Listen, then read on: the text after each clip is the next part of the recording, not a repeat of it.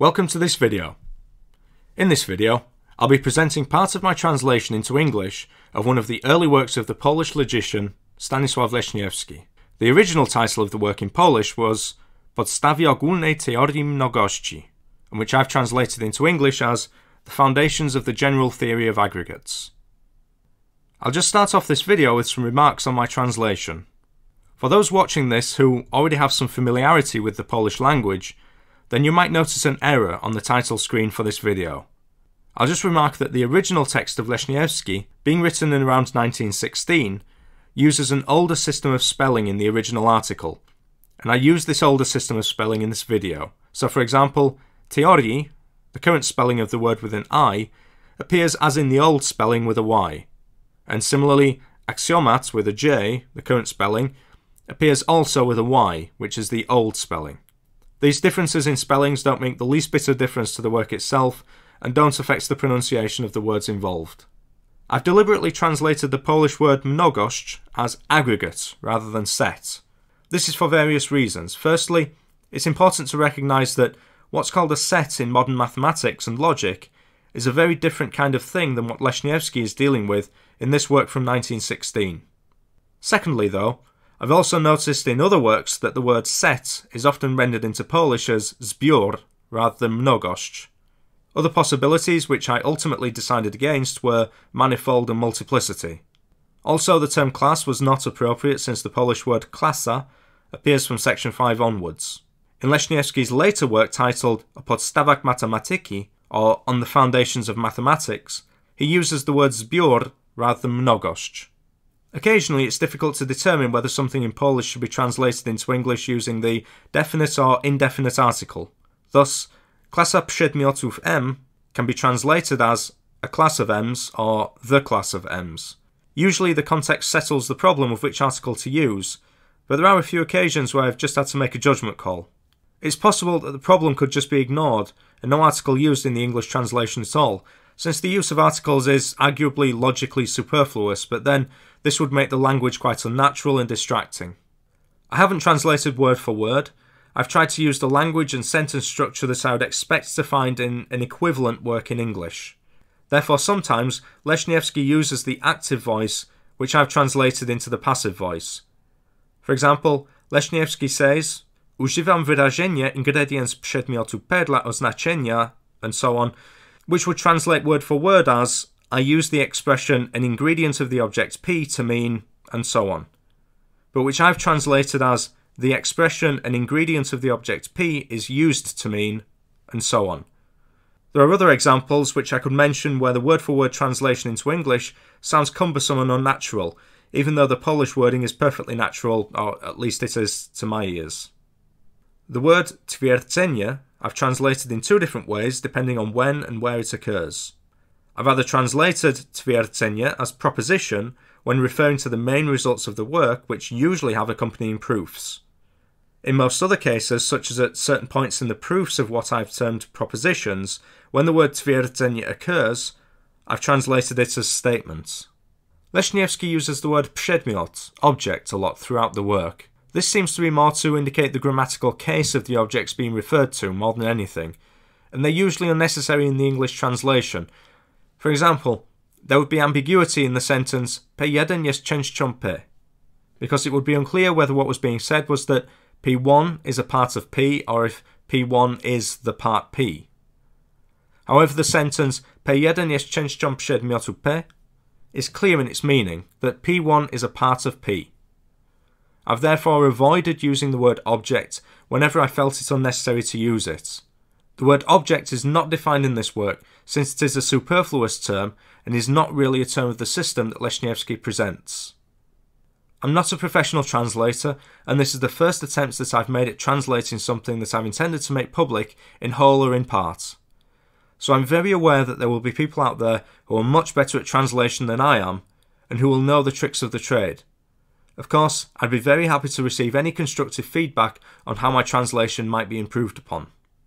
At the time of making this video, I've made an almost complete yet provisional translation of this work into English, and I'll be happy to provide anyone who is interested with a copy. All I'd ask in return is that you subscribe to my channel, hit the like button and that you recommend my channel to other people, which, of course, I'll have to take your word on that. The translation is complete with regards to the propositions, definitions, axioms, and proofs, but at the time of making this video, the translation of the introduction, Przedmowa, is not yet satisfactory. There's a certain paragraph of the introduction that I'm not satisfied that I've properly understood, and so I want to do some more additional research before I'm happy with my translation. If you'd like a copy of the translated version as it currently stands, then please let me know, otherwise it will remain amongst my various other notes and probably never see the light of day ever again. I can't guarantee 100% correctness of the translation, nor can I guarantee that the translation will be top quality.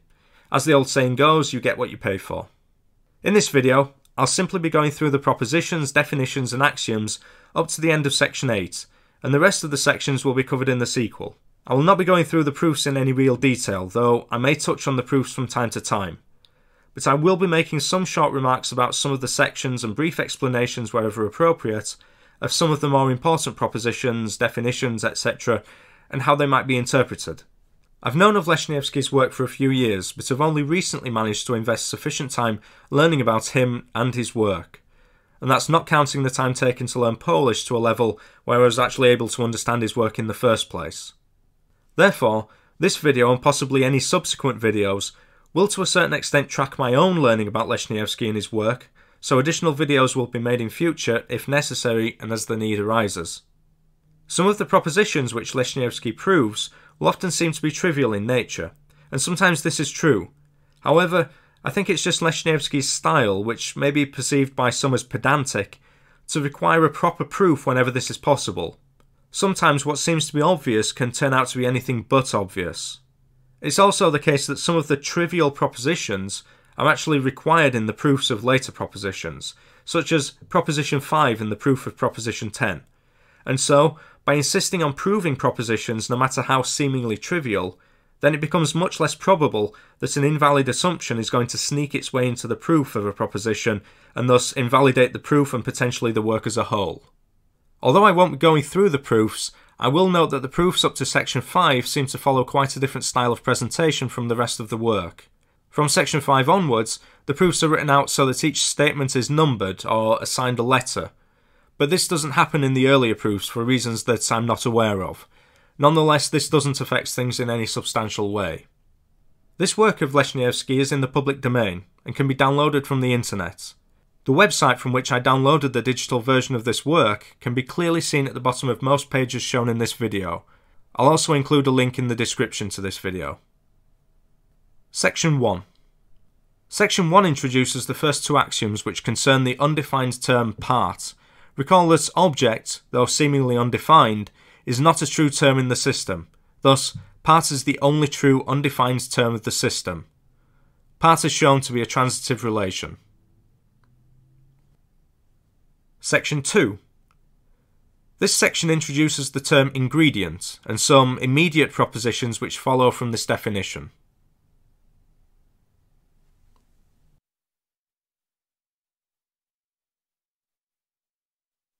Section 3. Section 3 shows that ingredients is a transitive relation, and a couple of propositions, 5 and 6, which seem very similar to proposition 4, are proved. Here we start to see more of the structure of objects in terms of their ingredients. Section 4. Here the term aggregate of M's is defined. M's are simply some objects that have the relation ingredient of to an object P which is known as an aggregate of m's. This is not to suggest that every ingredient of the aggregate of m's is itself an m. We also see that there is an object called a class of m's, which is distinguished from an aggregate of m's by the fact that every object which is an m is an ingredient of a class of m's, instead of merely some of the m's, as in the case of an aggregate of m's. The two axioms in this section guarantee that every object can be considered as an ingredient of some class, and that classes of m's are unique, Thus we can refer to the class of M's rather than a class of M's. The remark that I made in the introduction about whether to use the definite or indefinite article when translating a Polish sentence into English is particularly appropriate in relation to definition 3. In definition 3, it seems to be that we're not to assume that the class of M's are unique, and hence I refer to a class of M's. However, axiom 4 guarantees the uniqueness which justifies my transition from using the indefinite article to the definite article. Section 5. Some short remarks concerning the propositions from Section 5 are as follows. In Proposition 8, we have that P can unconditionally be considered as the class of its ingredients. However, for Proposition 9, we have the condition that if some object is a part of P, then P can be considered as the class of its parts. Note that we cannot guarantee the existence of a part of an object. An object will always have an ingredient, namely itself, but may not have any parts. Section 6. Section 6 gives a name to the relation of the m's in an aggregate of m's to the aggregate. An object P can be considered as the class of x's for different meanings of x, but nevertheless the object P is always the same object. Therefore, notice that in definition 4, we're able to say that P1 is an element of P without reference to what type of thing P1 is. Sections 7 and 8. These two sections give more detail regarding the interrelations, overlaps, and distinctions between objects which are parts, ingredients, and elements of an object P, which may be an aggregate of M's or a class of M's. We also see that is an object of is a transitive relation. It's the results from this section that really made me decide not to translate the word mnogość as set here, for the simple reason that the structures that we're dealing with here are so different to the kind of thing that is called a set in modern mathematics and logic. My thoughts were that by using the word set and element, that this may lead to more confusion than is necessary. I won't be going into the details here about the distinctions, but I'll possibly make another video where I go into more detail at a later date.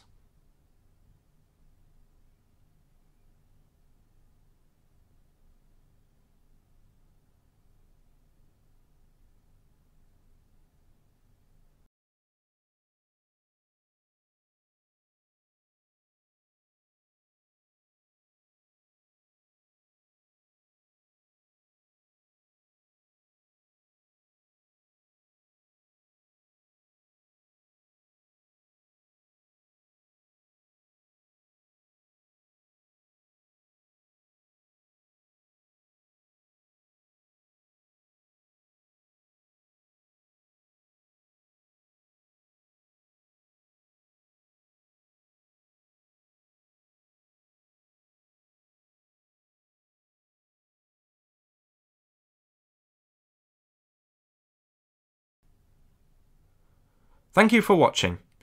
If you found this video useful, then please hit the like button and subscribe to my channel. You can see more videos on various topics on my channel, and if you have any suggestions for topics for future videos, then please feel free to let me know and I'll try my best to put something together. Don't forget to hit that subscribe button and keep an eye out for new videos being uploaded to my channel.